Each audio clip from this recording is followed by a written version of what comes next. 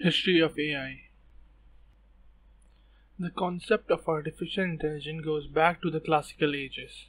Under Greek mythology, the concept of machines and mechanical men was well thought of. So, an example of this is Talos. For those who don't know, Talos was a giant animated bronze warrior who was basically programmed to safeguard the island of Crete. Now, there is no actual proof that this was implemented. These are just ideas that people came up with long ago back then. Now, let's get back to this 19th century. 1950 was speculated to be one of the most important years for the introduction of artificial intelligence.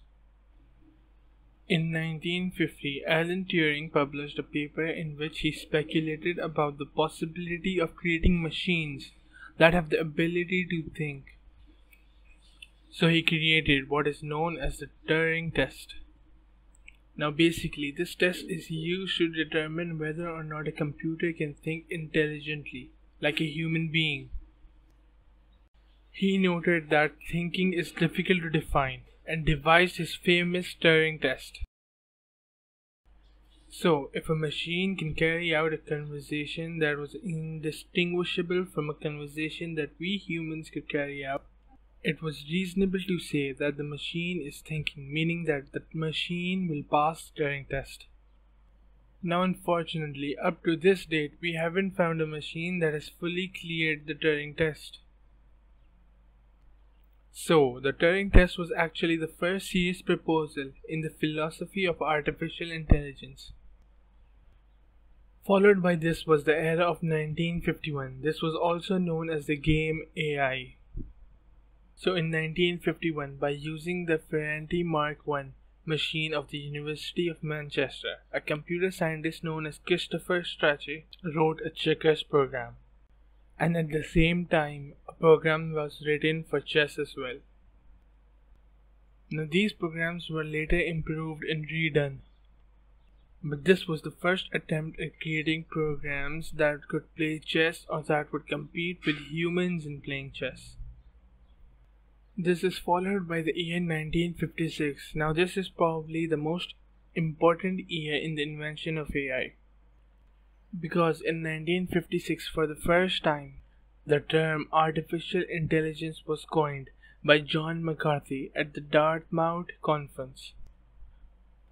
Coming to the year 1959, the first AI laboratory was established. This period marked the research era for AI. So, the first AI lab where the research was performed is the MIT lab, which is still running till date.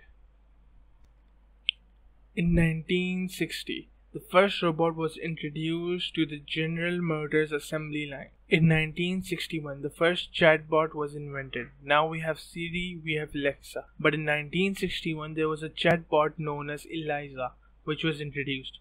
In 1997, the news broke down that IBM's Deep Blue beats the world champion, Garry Kasparov, in the game of chess.